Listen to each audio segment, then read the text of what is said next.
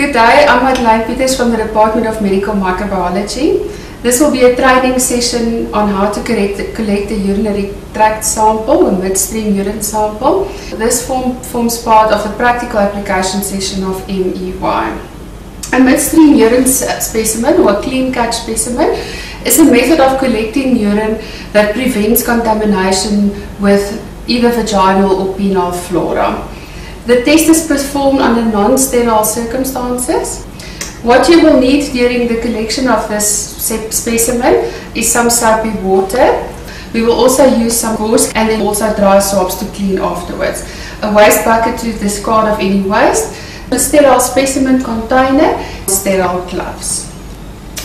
It is important to be able to explain to your patient how a midstream urine sample must be collected.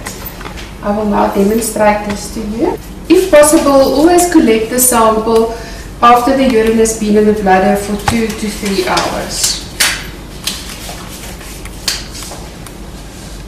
You will use the gauze with the soapy water to clean the vulva and the labia of the vagina.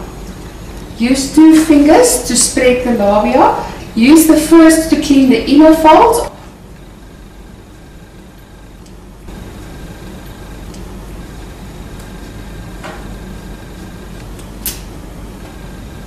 Then use clean gauze to dry the areas, starting with the inner folds of the labia.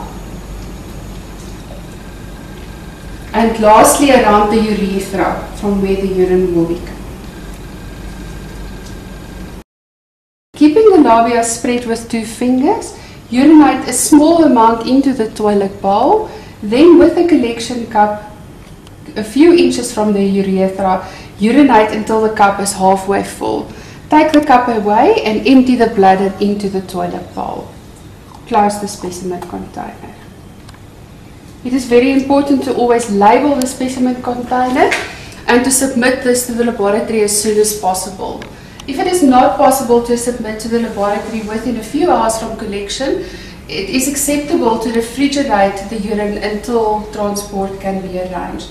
Always make sure to include the identification of the patient as well as any clinical information that could help with the diagnosis of the patient. Also include whether the patient is on antibiotics.